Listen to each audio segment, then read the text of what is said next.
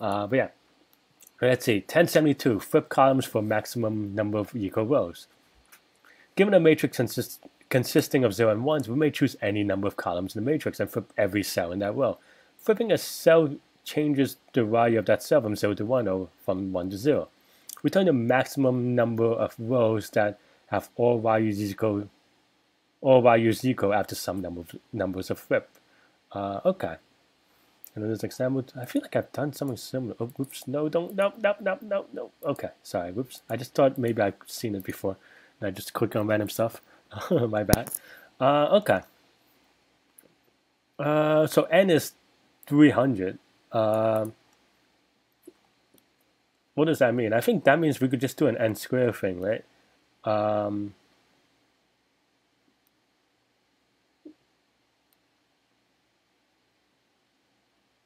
wait? Choose any number of columns in the matrix and flip every cell in that column. Okay.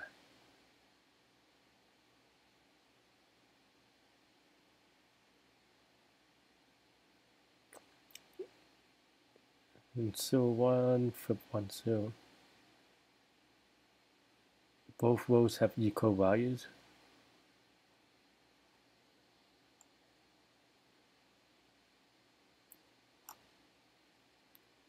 What does it mean to have a equal value? Uh, have all values equal. Okay, so it's not equal to another row. It's just all rows that are either zeros or ones. Um, right? Maybe. Okay.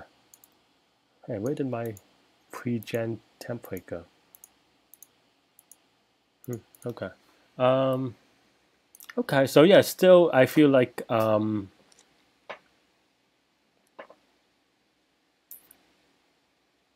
yeah, you could brute force this with n squared. Maybe n is it n cube? Uh, let's see. For each row, you go through all of them and then you have to flip all of them. So maybe that is n cube actually. So maybe you have to be slightly smarter than that. Um,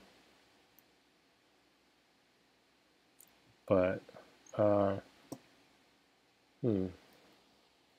So it is binary matrix. Uh, I have some sus right now I'm just thinking whether I could abuse Python's uh, big int and then just use a, a 300 digit number, but and then just use XOR all, all over the place. But uh, okay.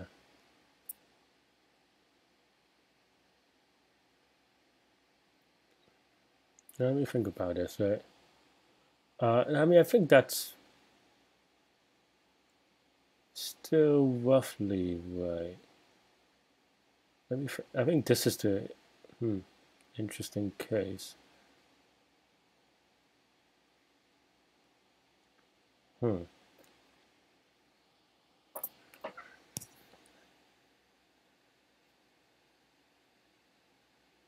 Spoof. I, I think n equals 300 is one of those like things on the edge where um,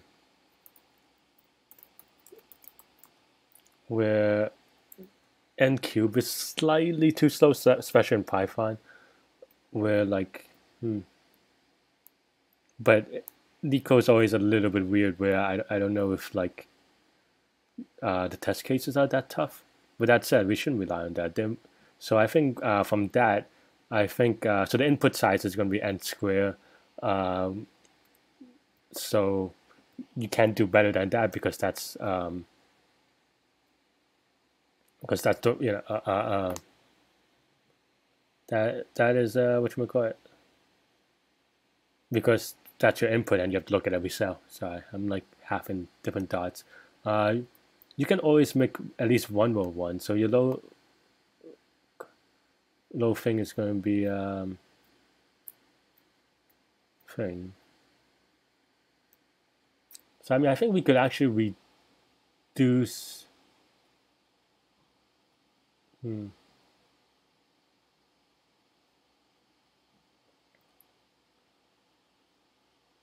So I think that uh, okay. So my thoughts are that um, okay. So it doesn't really matter whether someone is zero and someone is one uh, some number is 1.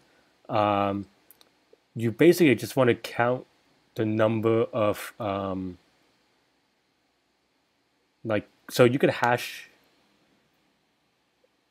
you could probably just hash the uh, the string of the number and then and then the the um, the opposite of that and then just do all the counts um,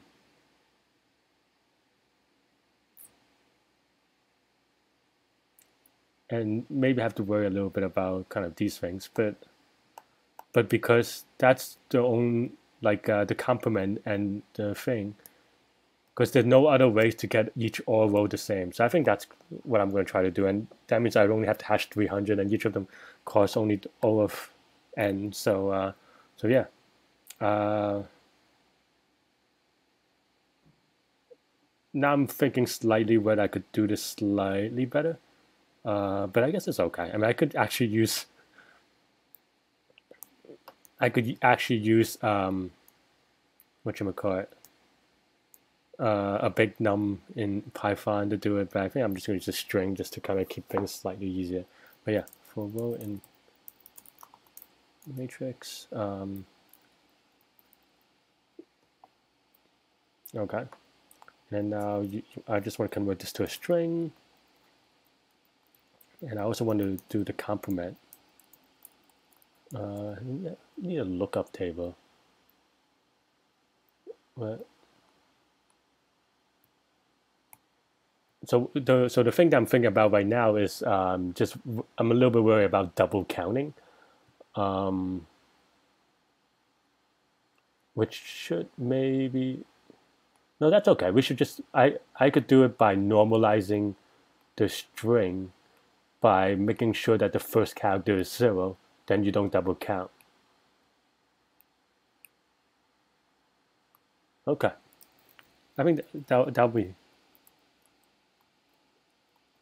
Yeah, okay. Let's see how that goes. Um,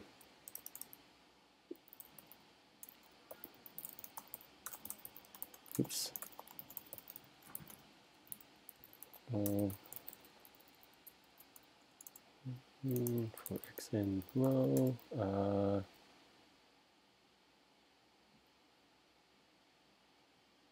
actually, I don't. I guess I don't need to create two strings. Let's have to like um, complement. False. Uh, if row sub zero is equal to one, complement is equal to true. Uh, and then now if um,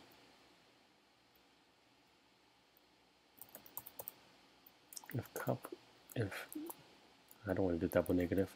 Okay so let's just do this inefficient thing. If it's complement then just do string of this one else uh, x and now we could counter dot uh, what's it? Just add I think. I, I, I'm not a big fan of this autocomplete that pops up thing. It's just distracting. But anyway um, oh I guess it, it's a um, something like that. And then now we just return the max of counter dot values something like that.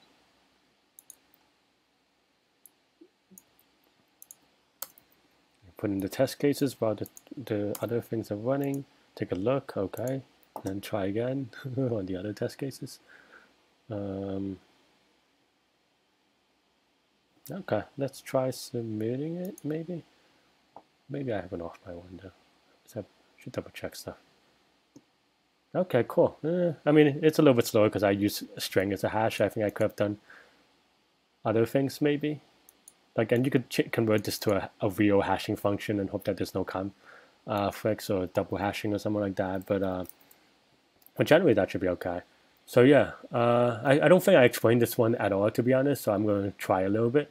Uh, I think I'm I was running a little bit on intuition, so that's why I wanted to verify uh, that this works before I kind of explain it. Because sometimes I feel like one of those evil villains in a movie uh, where like I explain everything and it turns out to be wrong. I'm like, well, uh, so that okay. So this one I feel a little bit better about then. Okay, so my um hmm. So I, I made a couple of uh, optimizations as I was coding it. Um, So I, I'll kind of go over this problem. This is actually, uh, I mean, I dig this problem. I like this problem. It's fun. Uh, it's fun as long as you're not doing it on an interview, rather, because uh, an interview like these are kind of very ad hoc and very stressful, and like you also wonder whether that has like even less relevance to uh, your real day, uh, your everyday job or whatever. Uh, but that said, uh, it is a fun puzzle problem. So, uh, so maybe, and it does deal with kind of uh, hashing a little bit, kind of hand wavy. But uh, but yeah, but so my my thing was thinking that well, uh, how do you make so for each row? Um, for, so I start from the premise that for each row, uh, you can only make it all zeros or all ones two different ways, right? Which is to make all the zeros one so that they're all the same, or make all the ones zeros. Um, so those are the two ways you can do it. Um, and I don't think I, I mean, I actually now that I said it out loud, it seems seems simpler than uh, than when I was thinking it. But because in my mind, I was thinking about it a little bit more complicated. Um, but because of this forcing function, uh, and because you have to flip every column in every row, uh, the only way that um, other rows match this current row um, is if they also have the same number of uh, presses uh, from from the from the same columns, right? Uh, and that means that they have all the ones in the same place, or they're their exact complement, which means zeros in the same place, right? So, like for example, if you have someone like eh, I'm just pressing randomly, someone like this, and oh, just some other random number, uh, so these two will never match because to get this one on the bottom to be all zeros, you need to press this one, which already, you know, makes the top and impossible and so forth. I think that part is a little bit obvious. Um, and then the other, uh, maybe I should use the shorter test string. But then the other case is the only way they match is obvious if they match exactly, then that's a trivial case. But also if they have the opposite because um, the complement, as I call it, uh, because then if you convert uh, this one to all zeros, then this one will be all ones and so forth, right? Um, so I was going to just hash everything, uh, both the number and its complement, uh, into a lookup table, kind of similar to what I did. But I was worried about double counting, so I could, because I worried that like if I put this uh, and this, then like maybe I count twice and have to divide by two or something fancy or funky. I wasn't sure about, but uh, but what I end up uh, doing and how I implement with this complement was that um, uh, I make sure that the first, um, so I only hash, so my, my hashing function is just literally converting it to a string. You could do better. You could probably, I mean, I, my submission time is kind of terrible. So you could optimize it away. You could even use stuff like, and, and you know, you're in, you know, in a lot of languages, you have this idea of like string buffer and stuff like this, so you don't create literally hundreds, or in my case, maybe hundreds square of strings, uh, which is probably some of the running time and the memory and stuff like this. Uh, the memory actually fine, but um, but yeah, but what I did was I actually did. I think I a little bit of a tangent, but what I did was I normalized it into all the all the things to start with zero, uh, which is what I do with this complement. So this first number is always going to be zero for, uh, as a result of how I implemented it. So uh, so that and then because of that, there's only one way to for the rest of the uh, rows to follow through. So that's the way I kind of did it. And I just take the max of all the values. Uh, yeah. That's mostly it, I think. Pretty fun problem. Uh, I end up taking about 13, 14 minutes, uh, which is eh, probably a little bit long for a medium, but I was also rambling for some of it. Um, yeah, over an okay problem. It's a little bit ad hoc for an interview, but I could kind of see it in some of the uh, fancier tech places. So eh, I don't know, but I would still say that. I mean, you know, like as my shtick is usually to say that, uh, you know, you should definitely study for things that are more obviously impactful, like the binary searches and the sorting and the uh, and uh, I don't know, even heap and data structure and stuff like this. I think this is for ad hoc problems. I think like that's like one level on top of that we're like okay, if you're comfortable with everything, then maybe play around these things.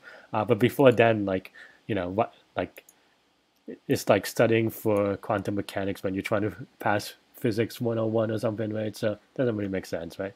Uh, so that's my take on this problem. Uh, cool. But overall, I mean, I, as a brain teaser type thing, like thinking problem, I, I actually do dig this one. Uh, there are a lot of like forcing intuition there that uh, a little bit uh, tricky to um, uh, articulate sometimes, but